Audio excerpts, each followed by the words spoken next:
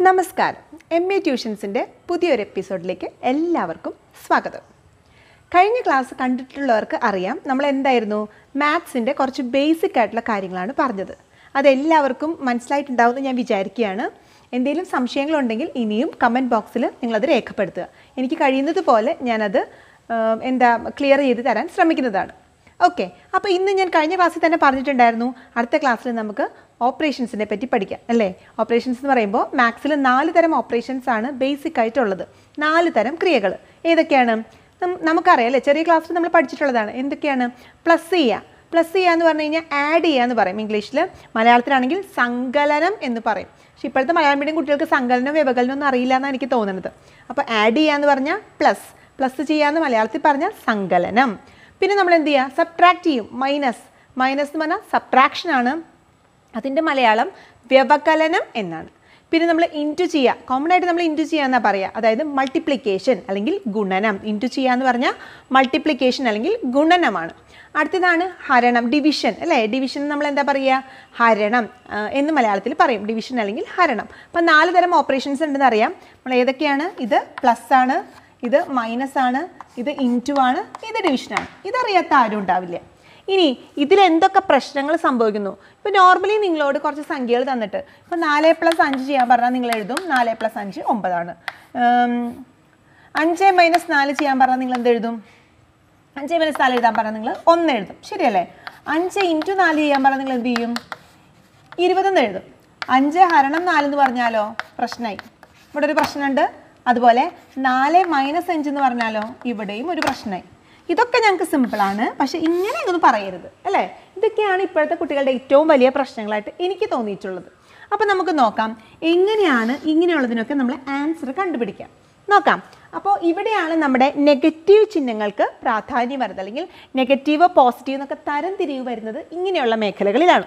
അപ്പോൾ ഇത്രയും കാര്യങ്ങൾ ക്ലിയർ ആയില്ലേ? നാല് തരത്തിലുള്ള ഓപ്പറേഷൻസ് നാല് തരത്തിലുള്ള ക്രിയകൾ പ്ലസ് മൈനസ് ഇന്റു ഡിവിഷൻ സങ്കലനം വ്യവകലനം ഗുണനം ഹരണം എഡീഷൻ സബ്ട്രാക്ഷൻ മൾട്ടിപ്ലിക്കേഷൻ ഡിവിഷൻ നമുക്ക് കുറച്ച് എക്സാമ്പിളുകളിലൂടെ പഠിക്കാം. അതായിരിക്കും നമുക്ക് എളുപ്പം. കേട്ടോ? ഒരു എക്സാമ്പിൾ നോക്കാം. പ്ലസിന്റെ കേസിൽ നിങ്ങൾക്ക് ഒരു വിഷയവുമില്ല. എട്ട് പ്ലസ് അഞ്ച് പതിമൂന്ന്. ശരിയല്ലേ? എട്ട് പ്ലസ് അഞ്ച് പതിമൂന്ന്. നമ്മൾ ആദ്യം ചർച്ച ചെയ്യാൻ പോകുന്നത് എഡീഷനെ പറ്റിയാണ് അല്ലെങ്കിൽ സങ്കലനത്തെ പറ്റിയാണ് കേട്ടോ. എഡീഷൻ സങ്കലനം. എട്ട് പ്ലസ് അഞ്ച് പതിമൂന്ന്. ശരിയല്ലേ? ഇനി ഞാൻ ഇവിടെ എട്ടിന് മുമ്പ് ഒരു നെഗറ്റീവ് സൈൻ കൊടുത്തു. നെഗറ്റീവ് എട്ട് പ്ലസ് അഞ്ച്. നെഗറ്റീവ് എട്ടിനോട് അഞ്ച് കൂട്ടണം. ഇങ്ങനെയുള്ള കാര്യങ്ങൾ ചെയ്യുമ്പോൾ നിങ്ങൾ ആകെ ശ്രദ്ധിക്കേണ്ടത് രണ്ട് സംഖ്യകൾ നമ്മളുടെ കയ്യിലുണ്ടെങ്കിൽ അത് തമ്മിലുള്ള ഓപ്പറേഷൻ നോക്കുക. അവിടെ അവർ തമ്മിൽ എന്ത് ചെയ്യാനാണ് പറഞ്ഞേക്കുന്നത് പ്ലസ് ചെയ്യാനാണോ മൈനസ് ചെയ്യാനാണോ പറഞ്ഞത് നോക്കുക.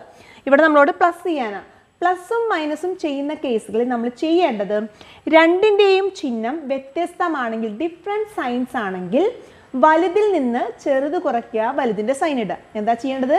വലുതിൽ നിന്ന് ചെറുത് കുറയ്ക്കുക വലുതിന്റെ സൈൻ ഇടുക. അപ്പോൾ നോക്കിയേ ഇതിൽ വലുത് എട്ടാണ് അല്ലേ? ചെറിയ സംഖ്യ അഞ്ചാണ്. അപ്പോൾ എട്ടിൽ നിന്ന് എന്ത് ചെയ്യുക? അഞ്ച് കുറയ്ക്കുക. എട്ടിൽ നിന്ന് അഞ്ച് കുറച്ചാൽ മൂന്നാണെന്ന് നമുക്കറിയാം.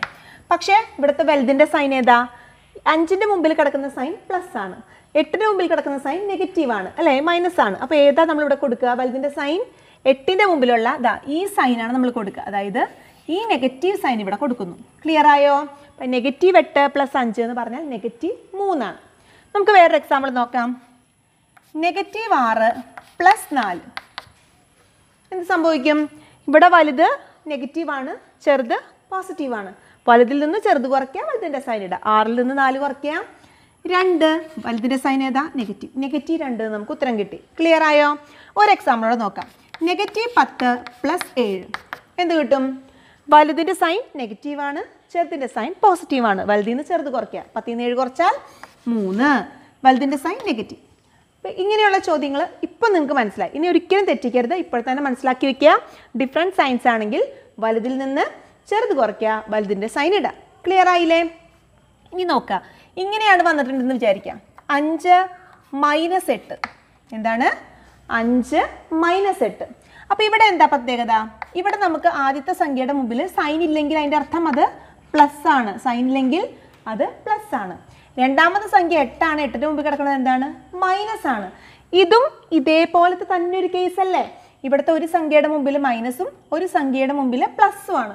അപ്പോൾ ഇവിടെയും എന്ത് തന്നെ ചെയ്യുക വലുതിൽ നിന്ന് ചെറുത് കുറയ്ക്കുക വലുതിന്റെ സൈൻ ഇടാം അപ്പോൾ എട്ടിൽ നിന്ന് അഞ്ച് കുറച്ചാൽ മൂന്നാണ് വലുതിന്റെ സൈൻ എട്ടിന്റെ സൈൻ എന്താ? നെഗറ്റീവ് അപ്പോൾ എന്ത് കിട്ടി? നെഗറ്റീവ് മൂന്ന് എന്ന് കിട്ടി. നമുക്ക് ഇവിടുത്തെ ചെയ്യാം. ഇത് തന്നെ നമുക്ക് തിരിച്ചെഴുതാം. നാല് മൈനസ് ആറ്. ഇവിടെ എന്ത് സംഭവിക്കും? ആറ് നെഗറ്റീവാണ് നാല് ഒന്നുമില്ല. അതിന്റെ അർത്ഥം പ്ലസ് ആണ്. വലുതിൽ നിന്ന് ചെറുത് കുറയ്ക്കുക. ആറ് മൈനസ് നാല് രണ്ട് ചെയ്യാം. വലുതിന്റെ സൈൻ നെഗറ്റീവാണ് ക്ലിയർ ആയോ? ഒരെണ്ണോട് ചെയ്യാം. ഏഴ് മൈനസ് പത്ത് ചെയ്യാം. നോക്കൂ പത്തിന്റെ മുമ്പിൽ നെഗറ്റീവാണ് ഏഴിന്റെ മുമ്പിൽ സൈൻ ഇല്ല. അതായത് പ്ലസ് ആണ്. രണ്ടും വേറെ വേറെ സൈനാണ് വലുതിൽ നിന്ന് ചെറുത് കുറയ്ക്കുക. പത്ത് മൈനസ് ഏഴ് മൂന്ന്. വലുതിന്റെ സൈൻ നെഗറ്റീവാണ് ക്ലിയർ ആയോ? അപ്പോൾ ഈ രണ്ട് കേസും ഏകദേശം ഒരുപോലെയാണ്. ക്ലിയർ ആയില്ലേ? ഇനി നമുക്ക് അടുത്ത സെറ്റ് നോക്കാം.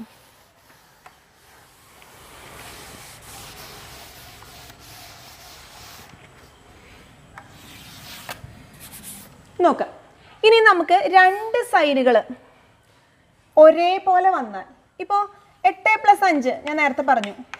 പതിമൂന്ന് നമ്മൾ എഴുതി എന്തുകൊണ്ടാണ് നമ്മൾ പതിമൂന്ന് എഴുതിയത്? ഈ അഞ്ചിന്റെ മുമ്പിലുള്ള സൈൻ പ്ലസ് ആയിരുന്നു. എട്ടിന്റെ മുമ്പിൽ സൈൻ ഒന്നും ഇല്ലെങ്കിൽ അതും എന്ത് തന്നെയായിരുന്നു? പ്ലസ് തന്നെയായിരുന്നു. ഒരേ ചിഹ്നങ്ങളായതുകൊണ്ട് നമ്മൾ രണ്ടും കൂടെ പ്ലസ് ചെയ്തു. ഉത്തരം എഴുതി. രണ്ടിന്റെയും ചിഹ്നം പ്ലസ് ആയതുകൊണ്ട് നമ്മൾ പ്ലസ് ഇട്ടാലും ഇട്ടില്ലെങ്കിലും കുഴപ്പമില്ലാതാ ഇവിടെ ഇട്ടാലും ഇട്ടില്ലെങ്കിലും പ്രശ്നങ്ങളില്ല. വേറൊരെണ്ണം നോക്കാം. നെഗറ്റീവ് ഏഴ് മൈനസ് മൂന്ന്. എന്താ സംഭവിക്കുക? നെഗറ്റീവ് ഏഴ് മൈനസ് മൂന്ന്. ഏഴിന്റെ മുമ്പിലുള്ള ചിഹ്നം നെഗറ്റീവ് മൂന്നിന് മുമ്പിലുള്ള സൈൻ നെഗറ്റീവ് രണ്ടിന്റെയും സൈൻ എന്ത് തന്നെ? നെഗറ്റീവാണ് അപ്പോൾ എന്ത് ചെയ്യാം? ഏഴും മൂന്നും പ്ലസ് ചെയ്യാം. അപ്പോൾ എന്ത് കിട്ടി? പത്ത് കിട്ടി. രണ്ടിന്റെയും സൈൻ നെഗറ്റീവ് ആയതുകൊണ്ട് നമ്മൾ എന്ത് ചെയ്യുന്നു? പത്തിന്റെ മുന്നിലും ആ നെഗറ്റീവ് സൈന് ഉപയോഗിക്കുന്നു. അപ്പോൾ എന്താ ആൻസർ നെഗറ്റീവ് പത്ത്. ക്ലിയർ ആയോ? നോക്കുക നെഗറ്റീവ് ആറ് മൈനസ് രണ്ട്. രണ്ടിന്റെയും മുൻപിൽ എന്ത് തന്നെയാണ്?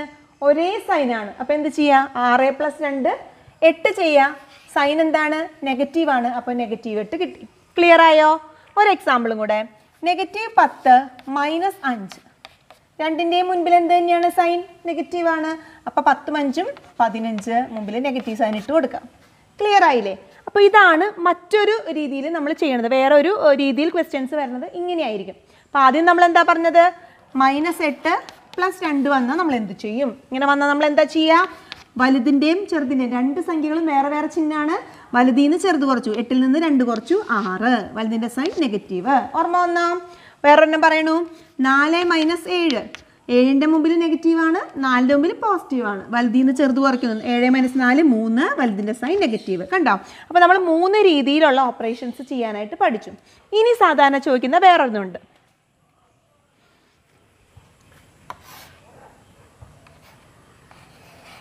നെഗറ്റീവ് എട്ട് പ്ലസ് നെഗറ്റീവ് അഞ്ച്. ഇങ്ങനെ വന്നാൽ എന്ത് ചെയ്യും? നെഗറ്റീവ് എട്ട് പ്ലസ് നെഗറ്റീവ് അഞ്ച്. അപ്പോഴാണ് നമ്മൾ ഇന്റും ഡിവിഷനൊക്കെ ആലോചിക്കുന്നത് കേട്ടോ. ഇന്റു ചെയ്യുമ്പോഴും ഡിവൈഡ് ചെയ്യുമ്പോഴും ഈ സൈനിന് വരുന്ന മാറ്റങ്ങൾ എന്താണ്? അപ്പോൾ നിങ്ങൾ ആദ്യം ശ്രദ്ധിക്കുക. രണ്ട് സംഖ്യകളുടെ നമ്പേഴ്സ് പോസിറ്റീവാന്ന് വിചാരിക്കാം രണ്ട് സംഖ്യകളും പോസിറ്റീവാണ് രണ്ട് നമ്മൾ ഇന്റു ചെയ്യുമ്പോൾ എന്ത് തന്നെ കിട്ടുള്ളൂ? പോസിറ്റീവേ കിട്ടുള്ളൂ. രണ്ടാൾക്കാർ നെഗറ്റീവ് ആണെന്ന് വിചാരിക്കാം. അപ്പോഴും നമുക്ക് ഇന്റു ചെയ്യുമ്പോൾ എന്ത് കിട്ടുള്ളൂ? നെഗറ്റീവേ കിട്ടുള്ളൂ. ഏതെങ്കിലും ഒരാൾ നെഗറ്റീവും ഒരാൾ പോസിറ്റീവും ആണെങ്കിൽ ആൻസർ എന്തേ കിട്ടുള്ളൂ? സോറി ഇത് പോസിറ്റീവ് ആണ് കേട്ടോ. രണ്ടും പോസിറ്റീവ് ആണെങ്കിലും പോസിറ്റീവ് ആണ് രണ്ടും നെഗറ്റീവ് ആണെങ്കിലും പോസിറ്റീവ് ആണ്. ഏതെങ്കിലും ഒരാൾ നെഗറ്റീവ് ആണെങ്കിൽ answer negative negative into positive ചെയ്താലും പോസിറ്റീവ് ഇന്റു നെഗറ്റീവ് ചെയ്താലും ആൻസർ നെഗറ്റീവ് ആണ്. ക്ലിയർ ആയോ പറഞ്ഞത്? ഇങ്ങനെ ഓർത്തു വെക്കുക ഒരേ സ്വഭാവമുള്ള ആൾക്കാർ തമ്മിൽ എപ്പോഴും കൂട്ടുകൂടും. ശരിയല്ലേ? ഒരേ സ്വഭാവമുള്ള രണ്ട് പോസിറ്റീവായിട്ടുള്ള സ്വഭാവമുള്ളവർക്ക് കൂട്ടുകൂടും. അല്ലേ? അപ്പോൾ അവർക്ക് പോസിറ്റീവ് സ്വഭാവം തന്നെയായിരിക്കും. രണ്ട് നെഗറ്റീവ് ആയിട്ടുള്ള ആൾക്കാർ ചേരുമ്പോഴും എന്ത് തന്നെ ഉണ്ടാവുള്ളൂ? പോസിറ്റീവ് സ്വഭാവം തന്നെ ഉണ്ടാവുള്ളൂ. ഏതെങ്കിലും ഒരാൾ ഇച്ചിരി മോശമാണെങ്കിൽ എന്ത് സംഭവിക്കും? ആ കൂട്ടുകെട്ടും മോശമായിട്ട് വരും. അപ്പോൾ ഇവിടെ ആൻസർ എന്തായിട്ട് വരും? നെഗറ്റീവായിട്ട് വരും. അങ്ങനെ ഓർത്ത് വയ്ക്കുക ഇന്റു ചെയ്യുമ്പോഴും ഡിവിഷൻ ഗുണിക്കുമ്പോഴും ഹരിക്കുമ്പോഴും ഇത് ശരിയാണ്. ഇതേ കാര്യം തന്നെ നോക്കൂ. ഇന്റുവിന്റെ കേസാണ് പറഞ്ഞത്. പ്ലസ് ഡിവൈഡഡ് ബൈ പ്ലസ് വന്നാലും ആൻസർ പ്ലസ് ആണ്. മൈനസ് ഡിവൈഡഡ് ബൈ മൈനസ് വന്നാലും ആൻസർ പ്ലസ് ആണ്. മൈനസ് ഡിവൈഡഡ് ബൈ പ്ലസ് വന്നാൽ ആൻസർ മൈനസ് ആയി. പ്ലസ് ഡിവൈഡഡ് ബൈ മൈനസ് വന്നാലും മൈനസ് ആയി. കണ്ടോ? അപ്പോൾ ഇന്റു ചെയ്യുമ്പോഴും ഡിവിഷൻ ചെയ്യുമ്പോഴും ഒരേപോലെയാണ്. ഒരേ സ്വഭാവമാണ് രണ്ട് പേർക്കെങ്കിൽ അല്ലെങ്കിൽ ഒരേ ചിഹ്നമാണ് രണ്ട് പേർക്കെങ്കിൽ രണ്ട് നമ്പേഴ്സിനും എങ്കിൽ ആൻസർ രണ്ടും ആൻസർ പോസിറ്റീവ് ആയിരിക്കും. ഏതെങ്കിലും ഒരെണ്ണം നെഗറ്റീവ് ആണെങ്കിൽ ആൻസർ എന്തായിട്ട് വരും? നെഗറ്റീവായിട്ട് വരും. ക്ലിയർ ആയോ? ഇനി നമുക്ക് നമ്മുടെ ക്വസ്റ്റ്യനിലേക്ക് വരാം. നോക്കൂ നെഗറ്റീവ് എട്ട് ഇതാ അങ്ങനെ തന്നെ ഞാൻ എഴുതി. ഇവിടെ നോക്കിയേ ഒരു പ്ലസും ഒരു മൈനസും അടുത്ത് വന്നു. അടുത്തടുത്ത് വരിക എന്ന് പറഞ്ഞാൽ എന്ത് ചെയ്യണം? ഈ രണ്ട് സൈനുകൾ തമ്മിൽ ഇന്റു ചെയ്യണം. പ്ലസും മൈനസും കൂടി ഇന്റു ചെയ്യുമ്പോൾ എന്ത് കിട്ടുന്ന നമ്മളിപ്പോൾ പഠിച്ചത്? മൈനസ് ഒരാൾ മൈനസ് ആയ മൈനസ് ആയി. അപ്പോൾ ഇവിടെ മൈനസ് കിട്ടി. ഈ അഞ്ച് ഇങ്ങോട്ടേക്ക് എഴുതി. ഇപ്പം എന്തായി? നമ്മൾ ഈ പഠിച്ച പോലെ ആയില്ലേ? എന്ത് സംഭവിച്ചു? എട്ടിനും അഞ്ചിനും മുമ്പിലുള്ള സൈൻ ഒരേപോലെയാണ്. അപ്പോൾ നമ്മൾ എന്ത് ചെയ്യും? പതിമൂന്ന് എന്ന് എഴുതും. രണ്ടിന്റെ സൈൻ നെഗറ്റീവ് ആയതുകൊണ്ട് നെഗറ്റീവ് ഇട്ട് കൊടുത്തു. ക്ലിയർ ആയോ? വേറെ എക്സാമ്പിൾ നോക്കാം. നെഗറ്റീവ് ഏഴ് പ്ലസ് നെഗറ്റീവ് മൂന്ന്. എന്താ അതിന്റെ ആൻസർ വരിക? നെഗറ്റീവ് ഏഴ് അങ്ങനെ തന്നെ എഴുതി.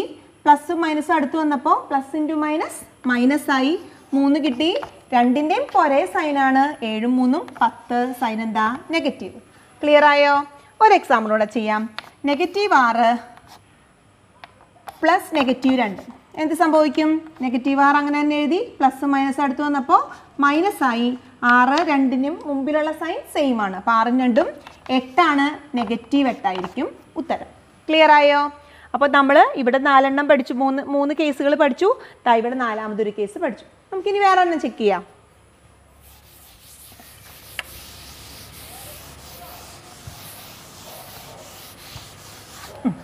ഓക്കെ ഇനി നമുക്ക് നോക്കാം. ഇപ്പം നെഗറ്റീവ് പത്ത് മൈനസ് നെഗറ്റീവ് നാല്.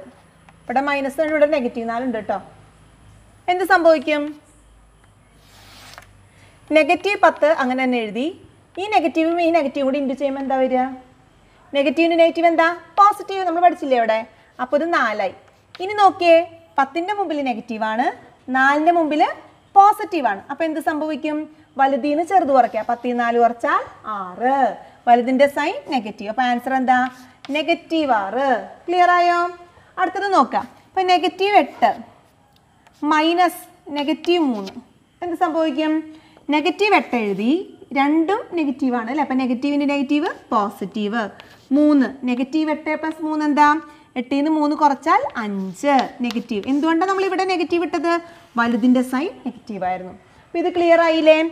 അപ്പം നമ്മൾ പഠിച്ചത് ആദ്യം പഠിച്ചത് രണ്ട് വ്യത്യസ്ത സംഖ്യകൾ തമ്മിൽ പ്ലസ് ചെയ്യോ മൈനസ് ചെയ്യോ ചെയ്യുമ്പോൾ വ്യത്യസ്ത ചിഹ്നങ്ങളാണ്. ഡിഫറെന്റ് സൈൻസ് ആണെങ്കിൽ വലുതീന്ന് ചെറുത് കുറയ്ക്കുക വലുതിന്റെ സൈൻ ഇടുക. രണ്ടാമത് പഠിച്ചത് എന്തായിരുന്നു? അടുത്തടുത്ത് രണ്ട് സൈൻ വന്ന അല്ലെങ്കിൽ രണ്ട് സൈനുകൾ തമ്മിൽ ഇന്റു ചെയ്യുകയോ ഡിവിഷൻ ചെയ്യുകയോ ഗുണിക്കുകയോ ഹരിക്കുകയോ ചെയ്യുമ്പോൾ ഒരേ സൈനുകളാണെങ്കിൽ ഇന്റു ചെയ്യുമ്പോൾ പ്ലസ് കിട്ടും. ഏതെങ്കിലും ഒരെണ്ണം നെഗറ്റീവ് ആണെങ്കിൽ നമുക്ക് ആൻസർ എന്ത് തന്നെ കിട്ടും? നെഗറ്റീവ് കിട്ടും. ക്ലിയർ ആയില്ലേ? ഇനി നമുക്ക് ഇതിനകത്ത് പഠിക്കാനുള്ളത് ഇതിന്റെ കുറേ എക്സാമ്പിളുകൾ തന്നെ ചെയ്ത് നോക്കണം കേട്ടോ. ഇപ്പം നമ്മൾ വളരെ കുറച്ച് എക്സാമ്പിൾസ് ഇവിടെ ഡിസ്കസ് ചെയ്തുകൊണ്ട് മാത്രമായില്ല. നിങ്ങൾക്ക് കേൾക്കുമ്പോൾ ചിലപ്പോൾ ഈസി ആയിട്ട് തോന്നും. കാരണം നിങ്ങൾ നിങ്ങൾക്ക് ഓൾറെഡി അറിയണ കാര്യങ്ങളായിരിക്കും. നിങ്ങൾ എവിടെയോ ചെറുതായിട്ട് മറന്നു പോയിട്ടേ ഉണ്ടായിരിക്കുള്ളൂ. ഇപ്പം അത് ഓർമ്മ പൊടി തട്ടി എടുത്തിട്ടുണ്ടാവും. പക്ഷേ ഇത് നമ്മൾ യൂസ് ചെയ്യുന്നില്ല എന്നുണ്ടെങ്കിൽ എന്ത് ചെയ്യും? അത് നമ്മൾ മറന്നു പോകും ഇപ്പം നമുക്കറിയില്ലേ നമ്മുടെ വീട്ടിലൊരു മെഷീൻ ഉണ്ടെങ്കിൽ അത് പ്രോപ്പറായിട്ട് യൂസ് ചെയ്തില്ലെങ്കിൽ കുറച്ച് കഴിയുമ്പോൾ തുരുമ്പ് പിടിച്ചു നമ്മുടെ ബ്രെയിനും അതുപോലെ തന്നെ. നമ്മൾ പ്രോപ്പറായിട്ട് അത് യൂസ് ചെയ്തില്ലെങ്കിൽ കുറച്ച് കഴിയുമ്പോൾ അതും തുരുമ്പ് പിടിക്കാൻ തുടങ്ങും. അപ്പോൾ അതും പ്രോപ്പറായിട്ട് വർക്ക് ചെയ്യില്ല. അപ്പോൾ എന്താ ചെയ്യേണ്ടത്? ഇതിന് കൂടുതൽ എക്സാമ്പിളുകൾ വെച്ചിട്ട് നിങ്ങൾ ചെയ്ത് നോക്കുക. ഏതെങ്കിലും കിട്ടിയില്ല എന്നുണ്ടെങ്കിൽ നിങ്ങൾ കമന്റ് സെക്ഷനിൽ ഇടുക. ഓക്കെ ഇനി നമുക്ക് ഇതിനകത്ത് ഡിവിഷന്റെ കാര്യം പറഞ്ഞു. ഇപ്പോൾ ഇൻഡുവിന്റെ കാര്യം ഡിവിഷന്റെ കാര്യമൊക്കെ പറഞ്ഞു. നോക്കാം. ഇനി അതിന് കുറച്ച് എക്സാമ്പിൾസ് ചെക്ക് ചെയ്യാം. നെഗറ്റീവ് പത്ത് ഇന്റു നെഗറ്റീവ് രണ്ട്. അപ്പോൾ നമ്മൾ പഠിച്ചു കഴിഞ്ഞതാണ് അല്ലേ? സോ സിമ്പിൾ പത്ത് ഇന്റു രണ്ട് ഇരുപതാണ്. ഇരുപതാണ്. നെഗറ്റീവ് ഇന്റു നെഗറ്റീവ് പോസിറ്റീവ് ആണ്. അപ്പോൾ ഈ പോസിറ്റീവ് ഇടണമെന്ന് നിർബന്ധമില്ല. അപ്പോൾ ഇരുപതാണ് നമ്മുടെ ആൻസർ നെഗറ്റീവ് അഞ്ച് ഇന്റു നാല്. ഈ ചെറിയ നമ്പേഴ്സ് എടുക്കുന്നത് എന്തിനാന്ന് വെച്ചാൽ പെട്ടെന്ന് നിങ്ങൾക്ക് മനസ്സിലാൻ വേണ്ടി. ഇനി വലിയ നമ്പേഴ്സ് എടുത്തിട്ട് അത് ഇന്റു ചെയ്ത് സമയം കളയണ്ടല്ലോ. അപ്പോൾ അഞ്ച് ഇന്റു നാല് ഇരുപതാണെന്ന് നമുക്കറിയാം. ഇവിടെ നെഗറ്റീവ് ആണ്. ഫോറിന് അവിടെ സൈൻ ഇല്ല. പോസിറ്റീവ് ആണ്. അപ്പോൾ negative into positive negative doubt ഉണ്ടോ? നെഗറ്റീവ് മൂന്ന് ഇന്റു ആറ്. ആ മൂന്ന് ഇന്റു ആറ് പതിനെട്ട്. Negative into positive negative doubt ഉണ്ടോ? ഒരെണ്ണം കൂടി. നെഗറ്റീവ് നാല് ഇന്റു നെഗറ്റീവ് മൂന്ന്. നാല് ഇന്റു മൂന്ന് പന്ത്രണ്ട്. നെഗറ്റീവ് നെഗറ്റീവ് പോസിറ്റീവ് റെഡി ആയില്ലേ? അപ്പോൾ ഇങ്ങനെയുള്ള ചോദ്യങ്ങളൊക്കെ ഈ രീതിയിലാണ് ചെയ്യേണ്ടത്. അപ്പോൾ ഇന്റു വളരെ സിമ്പിളാണ് വളരെ എളുപ്പത്തിൽ കിട്ടും. ഇനി നിങ്ങളോട് ചിലപ്പോൾ ഇങ്ങനെ തരാണ് നെഗറ്റീവ് ഓഫ് നെഗറ്റീവ് നാല്. ഇതെന്താ സംഭവം? രണ്ട് നെഗറ്റീവ് അടുത്തടുത്ത് വന്നില്ലേ? അപ്പോൾ എന്താ ചെയ്യേണ്ടത് ഇന്റു ചെയ്യുക നെഗറ്റീവിന് നെഗറ്റീവ് പോസിറ്റീവ് അപ്പോൾ പോസിറ്റീവ് നാല്. പോസിറ്റീവ് നമ്മൾ എഴുതണം നിർബന്ധമില്ല. പോസിറ്റീവ് നാലിന് എഴുതിയാലും തെറ്റൊന്നുമില്ല. ക്ലിയർ ആയില്ലേ? അപ്പോൾ ആ ഭാഗത്ത് നിന്ന് ഞാൻ പോവാണ്. ഇനി അടുത്ത സെക്ഷൻ എന്ന് പറഞ്ഞു കഴിഞ്ഞാൽ ഡിവിഷൻ ആണ് കേട്ടോ ഡിവിഷന്റെ കുറച്ച് ക്വസ്റ്റ്യൻസും കൂടെ ചെയ്ത് നോക്കാം. നോക്കിയേ. നെഗറ്റീവ് നെഗറ്റീവ് പത്ത് ഡിവൈഡഡ് ബൈ അഞ്ച്. പത്തിനെ അഞ്ച് കൊണ്ട് ഡിവൈഡ് ചെയ്താൽ നമുക്ക് എന്ത് കിട്ടും? രണ്ട് കിട്ടും. അത് നമുക്കറിയാം. ഇത് നെഗറ്റീവാ ഇതിന്റെ സൈൻ എന്താ? പോസിറ്റീവാ നെഗറ്റീവിനെ പോസിറ്റീവ് കൊണ്ട് ഡിവൈഡ് ചെയ്ത് എന്താ നെഗറ്റീവാണ് ക്ലിയർ ഇനി നെഗറ്റീവ് ഇരുപത് ഡിവൈഡഡ് ബൈ നെഗറ്റീവ് നാലാണെന്ന് വിചാരിക്കാം. ഇരുപതിനെ നാല് കൊണ്ട് ഡിവൈഡ് ചെയ്യുന്നു. അപ്പോൾ എന്ത് കിട്ടും? അഞ്ച് കിട്ടും. കേട്ടോ? ഇരുപതിനെ നാല് കൊണ്ട് ഡിവൈഡ് ചെയ്ത് അഞ്ച്. അതറിയാലോ? നെഗറ്റീവ് ഡിവൈഡ് ബൈ നെഗറ്റീവ് പോസിറ്റീവാണ് ഇനി നോക്കാം. പതിനാല് ഡിവൈഡഡ് ബൈ നെഗറ്റീവ് രണ്ട്. എന്ത് വരും? പതിനാല് രണ്ടോട് ഡിവൈഡ് ചെയ്താൽ ഏഴാണ് പോസിറ്റീവ് നെഗറ്റീവ് ഡിവൈഡ് ചെയ്യുമ്പോൾ നെഗറ്റീവാണ് ആൻസർ ക്ലിയർ ആയോ? ഇത്രയും കാര്യങ്ങൾ തന്നെയാണ് പ്ലസ് മൈനസിൽ സാധാരണയായിട്ട് നമുക്ക് വരണുള്ളൂ. നമുക്ക് യൂസ് ചെയ്യേണ്ട ആവശ്യം വരണുള്ളൂ. പിന്നെ ഒരു പ്രശ്നം വരുന്നത് എവിടെയാണെന്ന് വെച്ചാൽ നമ്മുടെ ഡിവിഷൻ ചെയ്യുന്ന സമയത്ത് ഇപ്പോൾ നിങ്ങൾ പറഞ്ഞു ഇരുപത് ബൈ നാല് അല്ലെങ്കിൽ പതിനാല് ബൈ രണ്ട് എന്നൊക്കെ പറഞ്ഞു അല്ലേ? അല്ലെങ്കിൽ അഞ്ച് ബൈ പത്ത്. പോട്ടെ. രണ്ടിനെ മൂന്നുകൊണ്ട് ഡിവൈഡ് ചെയ്യുന്നു. അല്ലേ? രണ്ടിനെ മൂന്നുകൊണ്ട് ഡിവൈഡ് ചെയ്യുന്നു. എന്ന് പറഞ്ഞാൽ ഇതിന്റെ അർത്ഥം നമ്മൾ എങ്ങനെ സാധാരണ എഴുതുക രണ്ട് ബൈ മൂന്നെന്ന് എഴുതും. ഇത് നിങ്ങൾ എഴുതിയിട്ടുണ്ടാവും ഇത് എന്തുകൊണ്ടാണ് നമ്മൾ ഇങ്ങനെ എഴുതിയെന്ന് ഒരിക്കലും ചിന്തിച്ചിട്ടില്ല. കാരണം ഒരു സംഖ്യയെ മറ്റൊരു സംഖ്യ കൊണ്ട് ഹരിക്കുക ഡിവൈഡ് ചെയ്യുക എന്ന് പറഞ്ഞാൽ അതിന്റെ മൾട്ടിപ്ലിക്കേറ്റീവ് ഇൻവേഴ്സ് അതായത് റെസിപ്രോക്കൽ എന്ന് പറയാം. റെസിപ്രോക്കൽ അല്ലെങ്കിൽ വിൽക്രമം കൊണ്ട് ഗുണിക്കുക അല്ലെങ്കിൽ ഇന്റു ചെയ്യുക എന്നൊരു അർത്ഥമുണ്ട്. അപ്പോൾ നമുക്ക് ഇതിനൊന്നും കൂടെ ഡീറ്റെയിൽ ആയിട്ട് ഇപ്പുറത്ത് നോക്കാം. രണ്ടിനെ മൂന്ന് കൊണ്ട് ഡിവൈഡ് ചെയ്യാൻ പറയുന്നു. എന്താ അതിന്റെ അർത്ഥം? രണ്ടിനെ മൂന്നോട് ഡിവൈഡ് ചെയ്യാന്ന് പറഞ്ഞാൽ രണ്ടിനെ ഈ മൂന്നിന്റെ ഇതാണ് നമ്മൾ ഹരിക്കാൻ പോകുന്ന സംഖ്യ. അല്ല ഹരിക്കുന്ന ഹരിക്കേണ്ട സംഖ്യ അല്ലേ? മൂന്ന് കൊണ്ടാണ് ഈ രണ്ടിനെ ഹരിക്കാൻ പോകുന്നത്. അപ്പോൾ ഈ മൂന്നിന്റെ എന്തെടുക്കണം? റെസിപ്രോക്കൽ അതായത് വിൽക്രമം വിൽക്രമം എന്ന് പറഞ്ഞാൽ അതായത് തല തിരിച്ചിടുക. മൂന്നാണെങ്കിൽ ഒന്നേ ബൈ മൂന്ന്. ഇത് ഇതിങ്ങനെ ആയതുകൊണ്ടാണ് നമ്മൾ രണ്ട് ഇന്റു ഒന്ന് രണ്ട് ബൈ മൂന്ന് എന്ന് പറഞ്ഞ് ഈ രീതിയിലേക്ക് നമ്മൾ എഴുതണത്. മനസ്സിലായോ? രണ്ടിനെ മൂന്ന് കൊണ്ട് ഹരിക്കുക എന്ന് പറഞ്ഞാൽ ഈ ഹരിക്കാൻ പോകുന്ന ഈ സംഖ്യയുടെ വ്യുൽക്രമം അതായത് റെസിപ്രോക്കൽ കൊണ്ട് ഗുണിക്കുക രണ്ട് ഇന്റു ഒന്ന് ബൈ മൂന്ന്. അതായത് രണ്ട് ഇന്റു ഒന്ന് രണ്ട് ബൈ മൂന്ന്. ക്ലിയർ ആയോ? ഇത് പറയുമ്പോൾ നിങ്ങൾക്ക് അത്രയും പ്രശ്നങ്ങൾ തോന്നുന്നുണ്ടാവില്ല വേറൊരെണ്ണം ഞാൻ പറഞ്ഞുതരാം. ഇപ്പോൾ നാല് ഹരണം മൂന്ന് ബൈ സോറി രണ്ട് ബൈ മൂന്ന്. നാല് ഹരണം രണ്ട് ബൈ മൂന്ന്. നാല് divide by two by three ഇതെന്താ ചെയ്യുക? ഇത് വെച്ച് ആലോചിക്കാം അപ്പം നാല് ഹരണം എന്തായി മാറുന്നു? ഇൻ ടു ആയിട്ട് മാറുന്നു. ഈ ടു ബൈ ത്രീ എന്തായിട്ട് മാറുന്നു? ത്രീ ബൈ ടു കണ്ടോ? ത്രീ ബൈ ടു അപ്പം എന്ത് സംഭവിക്കും? നാല് ഇന്റു മൂന്ന് പന്ത്രണ്ട് ബൈ രണ്ട് എന്ന് എഴുതാം. അല്ലെങ്കിൽ നമുക്ക് എന്തെഴുതാം ഈ രണ്ട് നാലിനെ ഡിവൈഡ് ചെയ്യുക മനസ്സിലാവുണ്ടോ നാലിനെ രണ്ട് കൊണ്ട് ഹരിക്കുക അപ്പോൾ ഇവിടെ എന്ത് കിട്ടി? രണ്ട് കിട്ടി. രണ്ട് രണ്ടിനെ രണ്ട് കൊണ്ട് ഹരിച്ചാൽ ഒന്ന് കിട്ടും. നാലിനെ രണ്ട് കൊണ്ട് ഹരിച്ചാൽ രണ്ട് കിട്ടും. അപ്പോൾ രണ്ട് ഇന്റു മൂന്ന് ആറെന്ന് ആൻസർ കിട്ടും. ക്ലിയർ ആയോ പറഞ്ഞത്? അപ്പോൾ ഒരു സംഖ്യയെ ഒരു നമ്പർ കൊണ്ട് ഡിവൈഡ് ചെയ്യുക ഹരിക്കുക എന്ന് പറഞ്ഞാൽ എന്ത് ചെയ്താൽ മതി? അതിന്റെ വ്യുൽക്രമം കൊണ്ട് ഗുണിച്ചാൽ മതി. ഇതിന്റെ കൂടെ ഇനി സൈൻ വന്നാൽ വല്ല ബുദ്ധിമുട്ടുണ്ടോ? അപ്പം ആദ്യം ഈ കോൺസെപ്റ്റ് മനസ്സിലാക്കുക ഡിവൈഡ് ചെയ്യുക ഹരിക്കുക എന്ന് പറഞ്ഞാൽ അതിന്റെ റെസിപ്രോക്കൽ വ്യുൽക്രമം കൊണ്ട് ഗുണിക്കുക എന്നാണ് അർത്ഥമാക്കുന്നത്. ഒന്ന് രണ്ട് എക്സാമ്പിൾ കൂടെ ചെയ്തു നോക്കാം. കേട്ടോ? അഞ്ച് ഹരണം പത്ത്. എന്താ നമ്മൾ എഴുതുക? അഞ്ച് ഈ ഡിവിഷൻ എന്തായി? ഇന്റു ആയി. പത്ത് എന്തായി മാറി? ഒന്ന് ബൈ പത്തായിട്ട് മാറി. അപ്പോൾ എന്ത് കിട്ടും? അഞ്ച് ഇന്റു ഒന്ന് അഞ്ച് ബൈ പത്ത്. ഈ അഞ്ച് അഞ്ചിൽ ഒരു പ്രാവശ്യം പോകുന്നു. പത്ത് അഞ്ചിൽ രണ്ട് പ്രാവശ്യം പോകുന്നു. ആൻസർ വൺ ബൈ ടു ഇവിടെ ഈ വെട്ടി കുറയ്ക്കാനുള്ളതൊക്കെ പഠിക്കുന്നത് ഒത്തിരി നല്ലതാണ്. അല്ലാണ്ട് നിങ്ങൾ ഡിവൈഡ് ചെയ്യാൻ മെനക്കെട്ട് ഇരിക്കരുത്. കാരണം കാൽക്കുലേഷനൊക്കെ ഭയങ്കര കോംപ്ലിക്കേറ്റഡ് ആയിട്ട് മാറും. അപ്പോൾ നിങ്ങൾ എന്ത് ചെയ്യുക അഞ്ചും പത്തും എന്തിന്റെ ടേബിളിൽ വരണതാ? അഞ്ചിന്റെ ടേബിൾ അല്ലേ? അഞ്ചിന്റെ ഗുണന ഗുണന പട്ടികയിൽ വരണതാ. അഞ്ചിനെ അഞ്ച് കൊണ്ട് ഹരിച്ചാൽ അതായത് അഞ്ച് ഒരു പ്രാവശ്യം അഞ്ചിൽ പോവുള്ളൂ. പത്താണെങ്കിൽ അഞ്ചിൽ രണ്ട് പ്രാവശ്യം പോവും. അത് മനസ്സിലാക്കുക അപ്പോൾ ഒന്നേ ബൈ രണ്ടെന്ന് കിട്ടും. വേറൊരു എക്സാമ്പിൾ എഴുതാം. രണ്ട് ബൈ മൂന്ന് ഹരണം മൂന്ന് ബൈ രണ്ട്. എന്ത് സംഭവിക്കും? ആദ്യത്തെ സംഖ്യേനെ അങ്ങനെ എഴുതിയില്ലേ? രണ്ട് ബൈ മൂന്ന്. ഹരണം എന്തായി മാറി? ഇന്റു ആയിട്ട് മാറി. റെസിപ്രോക്കൽ എടുക്കുമ്പോൾ തിരിഞ്ഞു വരും. രണ്ട് ബൈ മൂന്ന്. അപ്പം എന്ത് കിട്ടി? രണ്ട് ഇന്റു രണ്ട് നാല്. മൂന്ന് ഇന്റു മൂന്ന് ഒമ്പത്. അപ്പം ഇതിന്റെ ആൻസർ എന്താ? നാല് ബൈ ഒമ്പതാണ്. അപ്പോൾ ഓപ്പറേഷൻസ് ഒരുവിധം കാര്യങ്ങൾ നമ്മൾ ഈ കൂടി അവസാനിപ്പിക്കുകയാണ്. കേട്ടോ? അപ്പോൾ ബേസിക്സ് മാത്സിന്റെ ഒരുവിധം മനസ്സിലായി എന്ന് ഞാൻ വിചാരിക്കുന്നു. ഇതിൽ നമ്മൾ പറഞ്ഞ കാര്യങ്ങൾ ഇത്രയേ ഉള്ളൂ. നാല് തരം ഓപ്പറേഷൻസ് നാല് തരം ക്രിയകളുണ്ട്. പ്ലസ് മൈനസ് ഇന്റു ഡിവിഷൻ അല്ലേ? ഇത് ചെയ്യുമ്പോൾ ശ്രദ്ധിക്കേണ്ട പ്രധാന കാര്യങ്ങൾ സൈൻ ഉണ്ടോ എന്ന് ചെക്ക് ചെയ്യണം. രണ്ടിന്റെയും വേറെ വേറെ രണ്ട് നമ്പേഴ്സ് തന്നാൽ അതിന്റെ സൈൻസ് ചിഹ്നങ്ങൾ വേറെ വേറെ ആണോ എന്ന് ശ്രദ്ധിക്കുക. പ്ലസും മൈനസും ചെയ്യുന്ന സമയത്ത് ശ്രദ്ധിക്കേണ്ടത് രണ്ടും വേറെ വേറെ ചിഹ്നങ്ങളാണെങ്കിൽ എന്ത് ചെയ്യണം? രണ്ടും വേറെ വേറെ ചിഹ്നങ്ങളാണെന്നുണ്ടെങ്കിൽ നിങ്ങൾ വലുതിൽ നിന്ന് ചെറുത് കുറയ്ക്കുക വലുതിന്റെ സൈൻ ഇടുക. ഒരേ ചിഹ്നമാണെങ്കിൽ എന്ത് ചെയ്താൽ മതി? ജസ്റ്റ് ആഡ് ചെയ്യുക ആ സൈൻ തന്നെ ഇടുക. അല്ലേ? ജസ്റ്റ് ആ നമ്പേഴ്സ് തമ്മിൽ പ്ലസ് ചെയ്യുക. ഏത് ചിഹ്നമാണോ ഉള്ളത് അത് തന്നെ ഇട്ട് വയ്ക്കുക.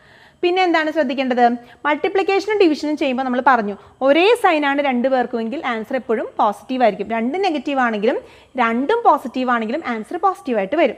ഏതെങ്കിലും ഒരെണ്ണം നെഗറ്റീവ് ആണെങ്കിൽ ആൻസർ എഴുതുമ്പോൾ എന്ത് വരും? നെഗറ്റീവ് വരും. ക്ലിയർ ആയില്ലേ?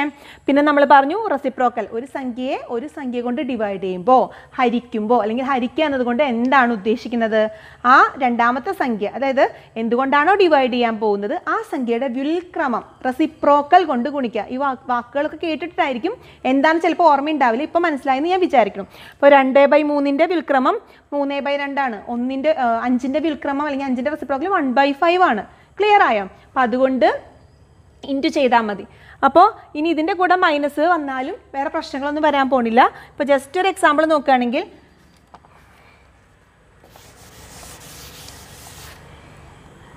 നെഗറ്റീവ് ആറ് divided by two by five ഇങ്ങനെയാണ് നിങ്ങളുടെ ക്വസ്റ്റ്യൻ എങ്കിൽ എന്തെഴുതും ആദ്യം? നെഗറ്റീവ് ആറ് ഇന്റു ഫൈവ് ബൈ ടു എന്ന് എഴുതും. ശരിയല്ലേ?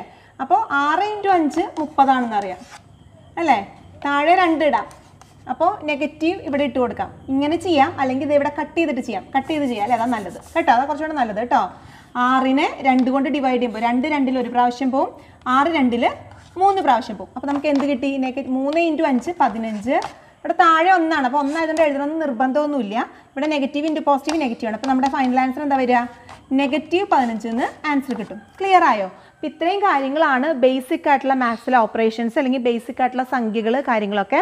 അപ്പോൾ ഈ എപ്പിസോഡിന്റെ മുമ്പത്തെ എപ്പിസോഡിൽ നമ്മൾ ചെയ്തിരുന്നത് സംഖ്യകളെ പറ്റിയും അതിന്റെ കുറച്ച് ഡീപ്പായിട്ടുള്ള കുറച്ച് കാര്യങ്ങൾ വളരെ കുറച്ച് കാര്യങ്ങൾ കുറച്ച് പറ്റുന്ന രീതിയിൽ എക്സ്പ്ലെയിൻ ചെയ്യാൻ ശ്രമിച്ചിട്ടുണ്ട്. അപ്പോൾ ആ വീഡിയോ കാണാത്തവർ പോയി കാണുക.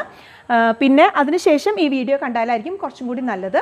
പിന്നെ ഇത് പഠിപ്പിച്ച അല്ലെങ്കിൽ പറഞ്ഞു തന്ന കാര്യങ്ങൾ കൃത്യമായിട്ട് മനസ്സിലായി എന്ന് വിചാരിക്കുന്നു. അപ്പോൾ ഇത് ഈ രണ്ട് ക്ലാസ്സുകൾ കൃത്യമായിട്ട് ഫോളോ ചെയ്താൽ നിങ്ങളുടെ ബേസിന്റെ പ്രശ്നങ്ങൾ ഒരുവിധം നിങ്ങൾക്ക് മാറ്റിയെടുക്കാനായിട്ട് സാധിക്കും. പിന്നെ നിങ്ങൾ ചെയ്യേണ്ടത് ബൈ എക്സ്പീരിയൻസ് മീൻസ് ചെയ്ത് ചെയ്ത് ചെയ്താണ് നമുക്ക് മാത്സിൽ ഇമ്പ്രൂവ് ചെയ്യാൻ എപ്പോഴും സാധിക്കുകയുള്ളൂ.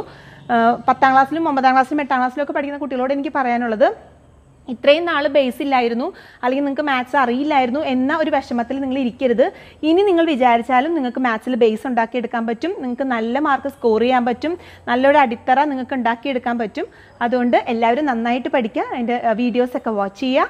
ഇഷ്ടപ്പെടുവാണെങ്കിൽ ലൈക്ക് ചെയ്യും ഷെയർ ചെയ്യും സബ്സ്ക്രൈബ് ചെയ്യുകയൊക്കെ ചെയ്യാൻ മറക്കരുത്.